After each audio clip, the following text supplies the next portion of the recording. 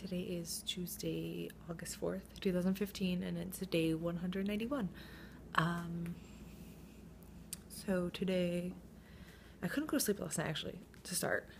Um, for the life of me. Like, worse than normal. Um, I'd rather not say what time I went to bed because it was, it was bad. I like, at one point, I just gave up and I was like, I'm just gonna stay up. But then, like, I was on my phone for a little while and I was like, okay, I'll try one more time, and I ended up falling asleep. But then I woke up kind of early um, because I'm still trying to fix my sleep schedule. So it's actually a lot earlier right now um, than it normally is when I do this. Um, and tomorrow I have to get up because my mom and I have to go to the bank, and then I'm hanging out with my friend Jenny in the afternoon.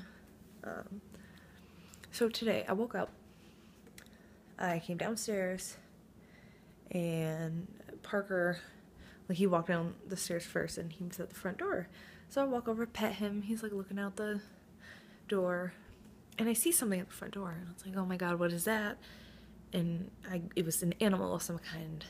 Uh, it was that big, maybe. Yeah, probably about that big. Or it was a bird.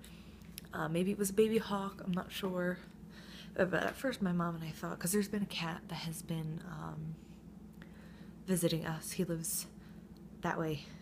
Uh, I think it's he. Um, and it's a black cat, really cute, small cat.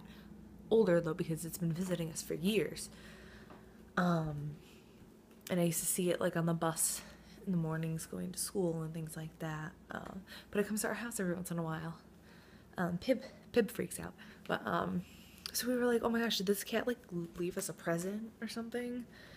Um, so my brother went out like around the garage and stuff and out to the front. Well, there's Pibb. Hold on. Hi, baby. Oh, he's so tired. Hi, baby.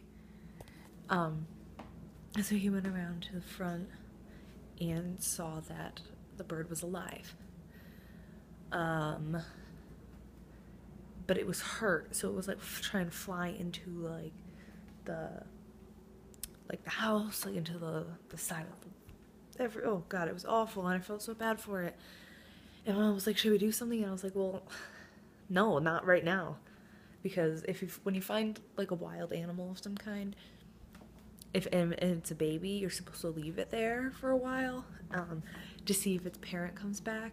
I don't know if that applies for birds, um, but I took it as it did. Um, so we waited a couple hours. Then we heard the bird like making noise. Um, and we're like, okay, we're gonna leave it like for now still. Uh, I wanted to call someone, but we were like, okay, let's just. My mom was like, let's just leave it for a little while. Um, and then my dad went out there, saw the bird, um, and he came in to tell us that it was still in our yard, and like I was gonna call whoever to come do something about it. Um, and it went away and we haven't seen it since. So maybe we'll see it tomorrow. I don't know. If i see it tomorrow i'm definitely gonna like call somebody about it.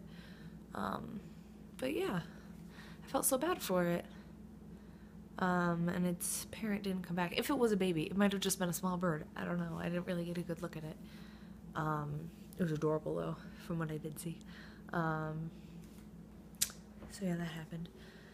Um, that's pretty much my oh no we did go to Wegmans and I like bought like a whole bunch of fruit and things um, and I made oh it's buried right now uh probably show it tomorrow uh, like a pudding kind of thing.